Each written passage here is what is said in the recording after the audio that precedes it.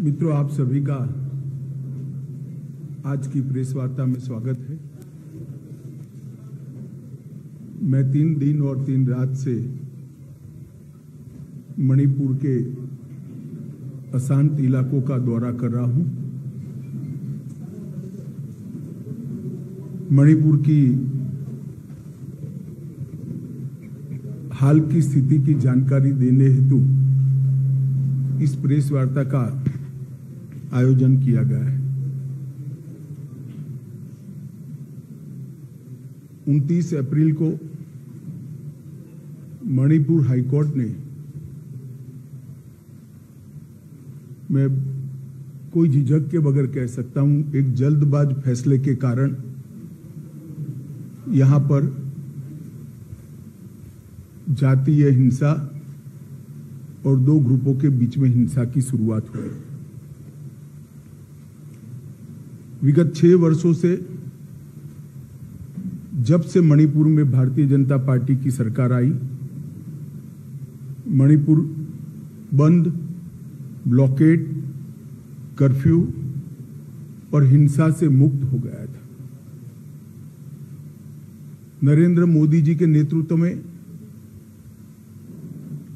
Bharatiya Janata party की मणिपुर सरकार हमारे मुख्यमंत्री जी के नेतृत्व में इस डबल इंजन की सरकार ने विकास के सारे पैरामीटर्स में अभूतपूर्व सिद्धियाँ हासिल की। ये छह साल मणिपुर के इतिहास में विकास और शांति के छह साल के रूप में जाने जाते हैं। चाहे सेंट्रल इंस्टीट्यूशन लाना हो, चाहे इंफ्रास्ट्रक्चर को मज़बूत बनाना हो, बढ़ावा करना हो इंडस्ट्रियल इन्वेस्टमेंट लाना हो एजुकेशनल इंस्टीट्यूशन को सुचारू रूप से चलाकर मणिपुर को नॉर्थ ईस्ट के एजुकेशन और स्पोर्ट्स में हब बनाने की बात हो, हर क्षेत्र में शांति के कारण मणिपुर विकास के रास्ते पर चल पड़ा था। विगत लगभग एक महीने से मणिपुर में हिंसक घटनाएँ हुई है। सबसे पहले तो मैं जिन दुर्भाग्यपूर्ण नागरिकों की हाल की हिंसा में मृत्यु हुई है, इस सभी के परिवारों के प्रति, देश के प्रधानमंत्री जी की ओर से, मेरी ओर से और भारत सरकार की ओर से इनके प्रति संवेदना व्यक्त करता हूँ। जान किसी की भी गई हो, देश के नागरिक की जान जाती है, तब हम सबको, मुझे, आपको, सभी को दुख होना बहुत स्वाभाविक ये दो दिन के दौरान मैंने ढेर सारे इधर और साइड के लोगों से मुलाकात की है। मैंने ये तीन दिनों में अस्थाई कैंपों का दौरा किया है। ये तीन दिनों के अंदर मणिपुर के अलग अलग हिस्सों में इम्फाल, मोरे चूड़ाचांदपुर कॉम्पोक्वी सभी जगह जाकर नागरिकों के प्रतिनिधि मंडल और आहत लोगों से चर्चा करने का प्रयास किया है। राज्य के कैबिनेट मंत्रियों के साथ भी मीटिंग की है। महिला संगठनों के साथ भी दोनों और मेरी मीटिंग हुई है। मतई समुदाय के लगभग 22 सीएसओ को मैं मिल चुका हूँ। इसी प्रकार से कुकी समुदाय के भी 25 से ज़्यादा सीएसओ के साथ मेरी मीटिंग हुई है। बुद्धिजीवी संगठन, प्रोफेसर, रिटायर्ड अफसर, समाज के सभी वर्गों के साथ शांति लाने के उपायों के लिए और शांति की चर्चा के लिए मेरी बातचीत हुई है। अलग अलग 11 पॉलिटिकल पार्टियों के नेताओं के साथ भी मेरी डिटेल चर्चा हुई है। ओलंपियंस और राष्ट्रीय खेलों में खेले हुए खिलाड़ियों से भी मेरी चर्चा हुई है, और सभी पार्टी के चुने हुए प्रतिनिधियों से भी मेरी चर्चा हुई है। दो राहत कैंपों में मैं गया। दोनों राहत कैंप में स्थिति का जायजा भी लिया है, और अलग अलग स्तर के भारत सरकार और मणिपुर सरकार के अधिकारियों की सिविल अधिकारियों की और सुरक्षा बलों की मीटिंग भी मैंने की है। हमने ढेर सारे फैसले भी किए हैं, जो आज मैं बताना चाहूँगा। भारत सरकार विगत एक महीने से चलती हुई हिंसा हिंसा होने के कारण और हिंसा में किसकी ज़िम्मेदारी है, इस सभी की जाँच के लिए हाईकोर्ट के चीफ जस्टिस स्तर के रिटायर्ड न्यायाधीश का न्यायिक आयोग गठित कर कर जाँच करेगा। और ये जाँच भारत सरकार की ओर से कराई जाएगी। भारत सरकार मणिपुर के गवर्नर साहिबा की अध्यक्षता में एक शांति समिति का गठन करेगी, जिसमें सभी का समावेश होगा। उद्योगपति भी होंगे, खिलाड़ी भी होंगे, राजनीतिक दलों के प्रतिनिधि भी होंगे, चुने हुए प्रतिनिधि भी होंगे और अलग अलग सिविल सोसाइटी ऑर्गेनाइजेशन के प्रतिनिधि भी सभी प्रकार के होंगे। मणिपुर में अभी ढेर सारी एजेंसियाँ सुरक्षा की दृष्टि से काम कर रही है। उनके बीच में बेहतर समन्वय के लिए एडवाइजर श्री कुलदीप सिंह जी, जो कि रिटायर्ड डीजी सीआरपीएफ हैं, उनकी अध्यक्षता में इंटर एजेंसी यूनिफाइड कमांड की व्यवस्था आज से ही हम रचना में लाएँगे, जो सभी एजेंसियों के बेटर कोऑर्डिनेशन के लिए, पक्षपात विहीन कोऑर्डिनेशन के लिए इनकी अध्यक्षता में काम होगा। जितने भी केस रजिस्टर किए गए हैं इसमें से पाँच केस चयनित किए गए हैं और एक केस इन जनरल कॉन्स्पिरसी का रजिस्टर्ड कर कर ये छह केसों की जाँच सीबीआई का विशेष दल करेगा, जो भारत सरकार के तत्वाधान में किया जाएगा। और मैं सभी मणिपुर वासियों को विश्वास दिलाना चाहता हूँ, किसी भी पक्षपात और भेदभाव के बगैर हिंसा के मूल तक जाकर आने वाले समय में कभी हिंसा न हो। इस प्रकार की एक न्यूट्रल जाँच और दोषियों तो को दंडित करने की कार्यवाही की जाएगी। एक रिलीफ एंड रिहेबिलिटेशन पैकेज को भी तैयार किया गया है। जितने भी लोगों का जान गया है, वो सभी को पाँच लाख रुपया मणिपुर सरकार की ओर से और पाँच लाख रुपया भारत सरकार की ओर से दस लाख रुपया दिया जाएगा। ये राशि डीबीटी के माध्यम से उनके परिवारजनों के सीधे बैंक अकाउंट में ट्रांसफ़र की जाएगी। जो इंजर्ड हुए हैं, उन इजाग्रस्तों के लिए, जिनकी प्रॉपर्टी का नुकसान हुआ है, उन लोगों के लिए भी एक रिलीफ एंड रिहेबिलिटेशन पैकेज तय कर लिया गया है, जिसकी डिटेल घोषणा कल भारत सरकार के गृह मंत्रालय से हम करेंगे। मणिपुर की जनता को चीज़ वस्तुओं की कमी न हो, इसके लिए तीस हज़ार मेट्रिक टन नियत कोटा से एक्स्ट्रा चावल भारत सरकार ने यहाँ पर भेजा है। वो चावल पंद्रह पंद्रह हज़ार मेट्रिक टन के दो महीने तक पंद्रह पंद्रह हज़ार मेट्रिक टन भेजा जाएगा। गैस, पेट्रोल और सब्जियों की भी आपूर्ति की व्यवस्था कर दी गई है। सारी चीज़ें ऑन वे हैं और उनके वितरण के लिए सस्ता अनाज की जो दुकान है, इसके अलावे एक अलग से कैंप खोला जाएगा, जहाँ उनके इलेक्ट्रॉनिक राशन कार्ड से भी अनाज मिलेगा और जिनको परचेस कर कर चाहिए उसको भी मिलेगा। वहाँ से सब्ज़ियाँ भी बांटी जाएगी, दवाइयाँ भी बेची जाएगी और पेट्रोल पंप कुछ चयनित कर दिए गए हैं। लगभग पंद्रह पेट्रोल पंप जो दिन रात खुले रहेंगे, जिससे पेट्रोल की किल्लत यहाँ पर हो न सके। आवाजाही में आप सभी जानते हैं, थोड़ी दिक्कत है। इसलिए खोनसेंग रेलवे स्टेशन अभी पूरा नहीं बना है, मगर लाइन तैयार हो गई है। तो हमने टेम्पररी प्लेटफॉर्म बनाने का निर्णय किया है, जो एक ही सप्ताह में बन जाएगा। तो रेल से भारत के बाकी हिस्सों से मणिपुर की आपूर्ति करने के लिए ये बहुत बड़ी सुविधा होगी।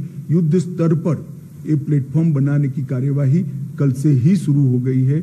मैं आशा करता हूँ कि चार पाँच दिन के अंदर ही हम रेल के माध्यम से यहाँ आपूर्ति शुरू कर देंगे। तो रेल जब आना शुरू होगी तो चीज़, चीज़ों की कमी में बहुत सुधार हो जाएगा। दोनों और लोग शिफ्ट हो गए इसके कारण। मेडिकल डॉक्टर की भी असुविधा विशेषकर कुकी भाइयों के क्षेत्र में हुई है। भारत सरकार ने आठ टीमें, जिसमें 20 डबल ग्रेजुएट डॉक्टर होंगे। वो डॉक्टरों के साथ उनकी टीमें भी होंगी। वो टीमें वहाँ से रवाना हो चुकी है। पाँच टीम, तीन टीम पहुँच चुकी है और पाँच टीम आज शाम तक यहाँ रिपोर्ट कर देगी, जो मोरे, चूड़ाचांदपुर और कॉम्पॉक्की के एरिया में, क्षेत्रों में मेडिकल सुविधाओं का काम करेगी। और बाद में, इम्फाल में भी अगर ये क्राइसिस होती है तो आसाम सरकार के डॉक्टर लाने की भी हमने व्यवस्था की है। कॉम्पिटिटिव एग्ज़ाम और शिक्षा में मणिपुर के विद्यार्थियों को कोई व्यवधान न हो इसलिए भारत सरकार के शिक्षा विभाग के उच्च अधिकारी आज यहाँ पहुँच चुके हैं। उनका और मणिपुर के शिक्षा विभाग के अधिकारियों का मीटिंग होने के बाद एक कॉन्क्रीट प्लान जिससे कि बच्चों की पढ़ाई लिखाई बाधित न हो, उसको हम बनाएँगे, जिसमें ऑनलाइन एजुकेशन ऑनलाइन एग्जामिनेशन और डिस्टेंस टीचिंग की भी व्यवस्था की जाएगी। ये सारी व्यवस्था को हम दो दिन के अंदर एक फाइनल स्वरूप दे देंगे, जिससे बच्चों की शिक्षा में और एग्जामिनेशन में किसी भी प्रकार का व्यवधान न हो। कोर्ट में मणिपुर के कुछ हिस्सों से आने में तकलीफ़ है। हम हाईकोर्ट के साथ चर्चा कर रहे हैं। तीन जगह पे वर्चुअल माध्यम से अपियर हो सके, इस प्रकार की व्यवस्था की है, करने जा रहे हैं हम। चूड़ाचांदपुर, मोरे और कंपोकवी में, जहाँ से मणिपुर हाईकोर्ट में सीधी अपनी बहस भी कर सकेंगे और हाईकोर्ट लिबरल तरीके से उनको जब तक स्थिति नॉर्मल नहीं हो जाती डेट भी दे पाएगी इससे काम करने में काफ़ी सरलता होगी।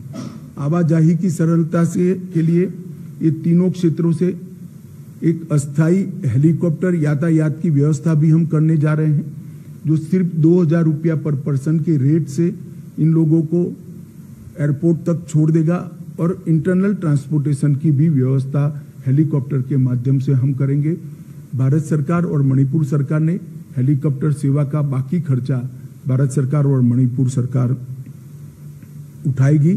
जैसे सुदूर क्षेत्रों में, आवागमन में किसी भी प्रकार की कोई दिक्कत न हो। ये सभी प्रकार की व्यवस्था सुचारू रूप से चले, इसलिए एक जॉइंट सेक्रेटरी स्तर के गृह विभाग के अधिकारी मणिपुर में उपस्थित रहेंगे और पाँच डायरेक्टर स्तर के अधिकारी भारत सरकार के अलग अलग मंत्रालय के यहाँ पर उपस्थित रहेंगे। परमानेंट सॉल्यूशन के लिए हमने म्यांमार और मणिपुर की बॉर्डर पर पहले ही ट्रायल बेस पर 10 किलोमीटर बाढ़ लगाने का फेंसिंग करने का काम हमने पूरा कर लिया है और 80 किलोमीटर के काम को हमने टेंडरिंग कर चुके हैं और बाकी की बॉर्डर की हम सर्वे भी चालू कर रहे हैं। और पड़ोस से, पड़ोस के देश से आने वाले लोगों की बायोमेट्रिक्स और आई इम्प्रेशन लेने का भी काम चालू है, जिससे आने वाले दिनों में उकसावे से यहाँ पर हिंसा न हो। मेरी सभी मणिपुर वासियों के से अपील है कि आप कृपया अफवाहों पे ध्यान न दें। अफवाहों के निरसन के लिए यहाँ पर कुछ टोल फ्री नंबर बनाए गए हैं। इधर और साइड से शांति बनाए रखें। मणिपुर में शांति के कारण विकास का एक नया युग छह साल से चल रहा था। कोर्ट के एक फैसले के कारण, थोड़ी मिसअंडरस्टैंडिंग के कारण ये मनमुटा हुआ है। मुझे भरोसा है कि मणिपुर की जनता आपसी सद्भाव के साथ चर्चा कर कर जल्दी इसका निपटारा लाएगी। जहाँ तक केंद्र सरकार का सवाल है। मैं एक स्थिति स्पष्ट कर देना चाहता हूँ। मैं सू ग्रुप वालों को भी एक कठोर संदेश देना चाहता हूँ कि सू एग्रीमेंट का किसी भी प्रकार का वायोलेशन किसी भी प्रकार का विचलन बहुत सख्ती से साथ लिया जाएगा और वो समझौते के भंग के रूप में लिया जाएगा। तो कृपया समझौते की सभी शर्तों का कठोरता से आप पालन करिए। आज से हम इसको बहुत स्ट्रिक्टली मॉनिटर करेंगे। और जिन लोगों के पास हथियार हैं, उनसे भी मैं अपील करना चाहता हूँ कि अपने अपने हथियार पुलिस के सामने सरेंडर कर दें। कल से पुलिस कॉम्बिंग ऑपरेशन करेगी और कॉम्बिंग ऑपरेशन करने के बाद जिनके पास से हथियार मिलेंगे, उन पर कठोर न्यायिक धाराएँ लगाई जाएँगी। तो मेरा सभी से अपील है कि जिनके पास हथियार हैं, वो सभी लोग पुलिस के सामने अपने हथियारों को सरेंडर कर दें। मैं सभी सिविल सोसाइटी ऑर्गेनाइजेशन से भी निवेदन करना चाहता हूँ कि अफवाहों पर ध्यान न दें। समय शांति बनाने का है, समाज के अंदर सद्भावना बढ़ाने का है, और जिस काम के लिए आप लोगों ने ऑर्गेनाइजेशन बनाया है, मैं मानता हूँ वो काम यही है तो आप लोग कृपया दोनों साइड से शांति बनाने का चर्चा का और सद्भाव बढ़ाने का माहौल बनाए ऐसी मेरी आप सबसे विनंती है। धन्यवाद। एक एक एक, एक। आराम से करिए। बैठकर करिए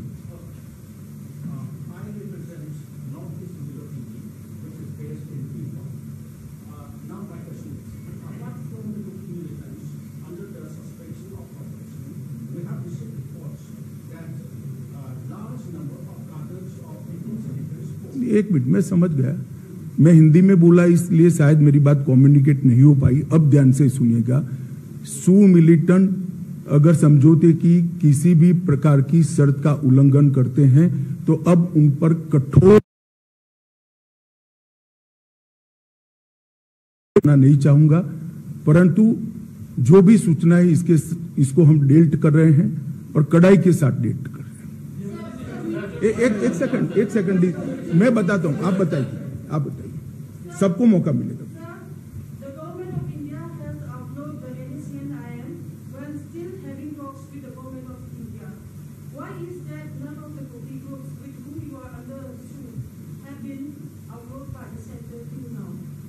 देखिए हमारी बातचीत सभी से चल रही है।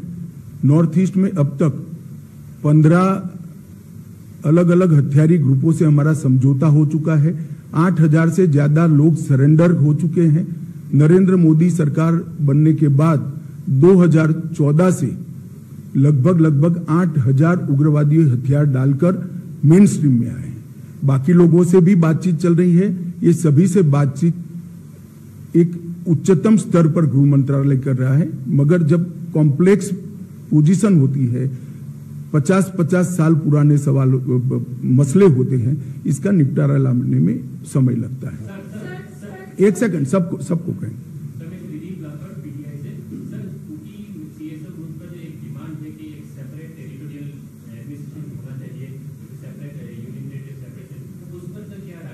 देखिए भारत सरकार ने मणिपुर की एकता और अखंडता के बारे में कई बार अपना स्टैंड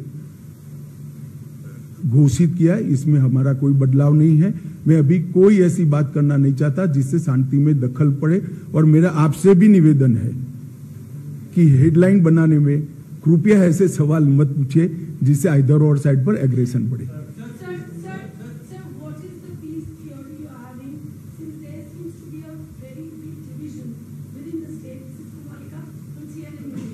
देखिए वार्ता और संवाद यही रास्ता है मतभेदों को और मिसअंडरस्टैंडिंग को क्लियर करने का।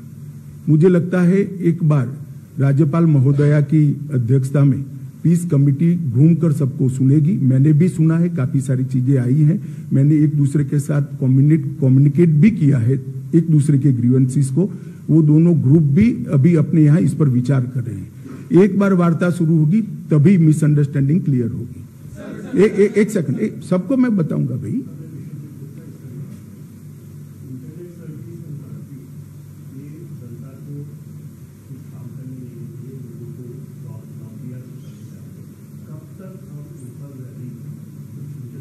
शांति होते ही तुरंत कर देंगे?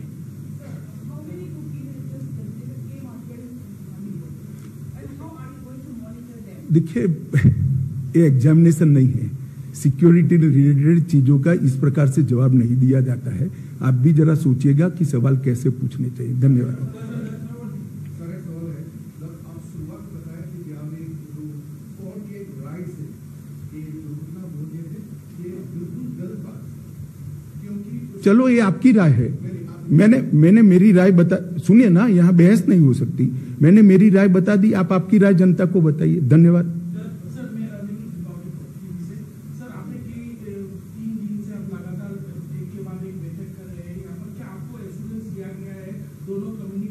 जी, मुझे दोनों कम्युनिटी कम्युनि दोनों कम्युनिटी के सीएसओ के माध्यम से विश्वास दिलाया गया है। कि जो मिसअंडरस्टैंडिंग है, इसको हम जल्दी ही निपटारा करेंगे। और दोनों कम्युनिटी ने अपनी अपनी जनता के साथ बातचीत करना भी शुरू कर दिया। इसकी ग्राउंड रिपोर्ट भी मिलती है। मैं बहुत ऑप्टिमिस्टिक हूँ कि जैसे ही राज्यपाल महोदय की अध्यक्षता में एक कमेटी घूमकर सबसे चर्चा करना शुरू होंगी, समाधान निकल आएगा। एक एक second sir Saurabh Mohan ji sir आप जहाँ जहाँ गए हैं आपको वेलकम भी किया गया है हर जगह पे अ, लेकिन स्टेट गवर्नमेंट के प्रति एक डिस्ट्रस्ट है डिस्ट्रस्ट है इसको लेकर के आपने जो राज्य की सरकार है उनको कोई सुझाव दिए हैं कोई एडवाइस दिए हैं कि इस डिस्ट्रस्ट को कैसे दूर करें देखिए, मैंने काफ़ी सारी चर्चा करी है, स्थिति से अवगत भी कराया है, सुझाव भी दिए हैं, मगर वो आपके लिए नहीं है, राज्य सरकार के लिए।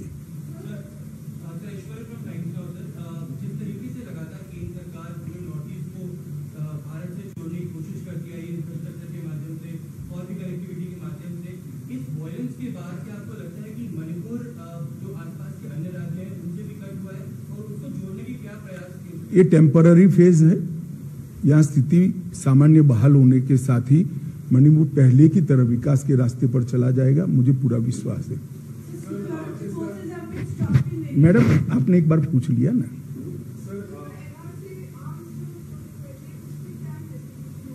इन्वेस्टिगेशन हो रहा है, मगर मैंने पहले अपील करना चाहता था, मैंने आज अपील कर लिया है। जिनके पास भी आम है आर्म्स है, वो सरेंडर कर दे। बाद में कॉम्बिंग भी होगा और कठोर कार्यवाही भी होगी, हमारे पास सूचनाएँ भी हैं। एक सेकंड एक सेकंड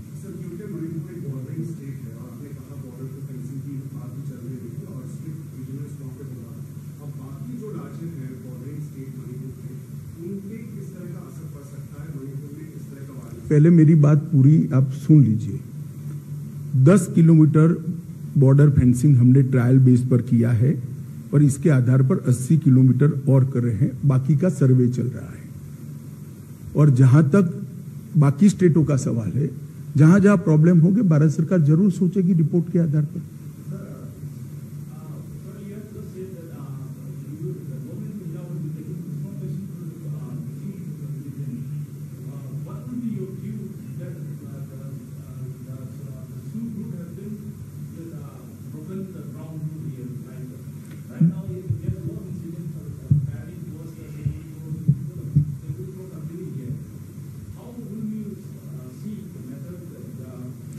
देखिए मैं समझ ग, समझ गया।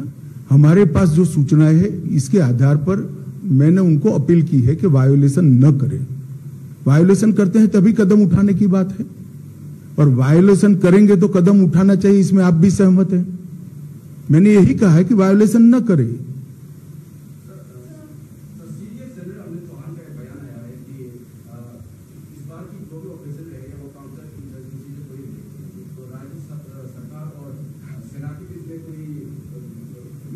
ढूँढने की जिस चीज़ का घर तबाह हो गई सर उस काम सर दोनों समुदाय के कुछ ऐसे भी है सर कि वो फिर से वापस जाना नहीं चाहते सर उसके लिए आप क्या करोगे? हम उनसे चर्चा करेंगे स्थिति सामान्य होने के बाद उनकी यही मंशा रही तो फिर उसके लिए भी सोचा जाएगा। मुझे विश्वास है कि स्थिति सामान्य होने के बाद, एक दूसरे पर विश्वास होने के बाद पूर्ववत स्थिति हो जाएगी।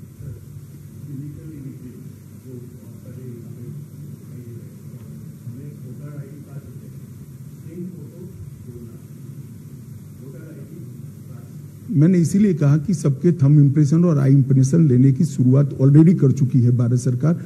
सिर्फ़ मणिपुर नहीं, सभी राज्यों में।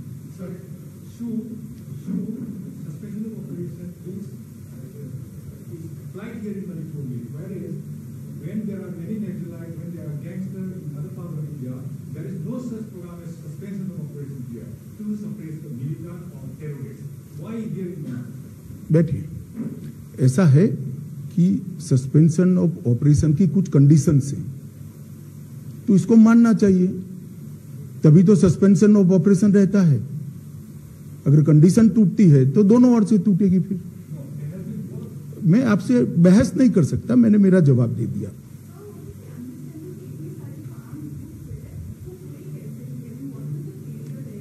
काफ़ी कुछ मात्रा में आर्म्स आ गए हैं। और जब मोब आता है, तब उस पर डायरेक्ट फायरिंग करना एक झिझक होती है। अब स्थिति सामान्य हुई है और मुझे विश्वास है कि आज मेरे कहने के बाद काफ़ी मात्रा में और भी आ जाएँगे, नहीं आएँगे, उसको हम कठोरता के साथ कॉम्बिंग कर कर ढूंढेंगे।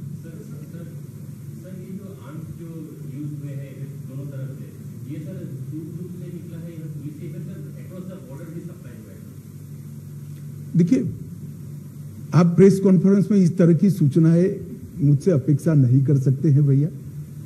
इसके लिए आपको एग्ज़ाम देना पड़ेगा, सिक्योरिटी फोर्स में आना पड़ेगा, या तो एजेंसी में आना पड़ेगा।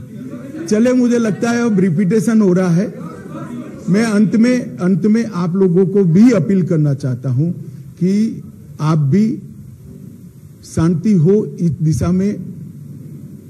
आपका रिपोर्टिंग भी कीजिए आप सभी अपील भी कीजिए और सभी सभी समुदायों को शांति बनाने में आपका सहयोग भी दीजिए। बहुत बहुत धन्यवाद।